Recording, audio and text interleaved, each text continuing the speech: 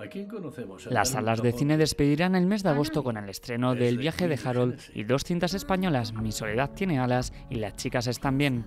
El viaje de Harold es la adaptación del bestseller escrito por Rachel Joyce, El insólito peregrinaje de Harold Fry, que ha vendido más de 5 millones de ejemplares y ha sido traducido a más de 36 idiomas.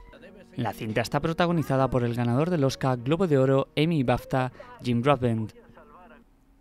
Mario Casas debuta como director con Mi soledad tiene alas, una cinta que transcurre en un barrio humilde a las afueras de Barcelona, donde los protagonistas viven sin pensar en el mañana, entre fiestas y dándole palos a joyerías.